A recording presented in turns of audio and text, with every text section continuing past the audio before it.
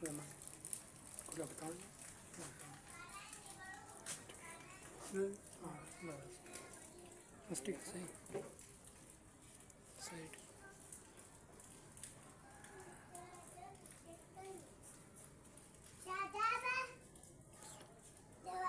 नमस्ते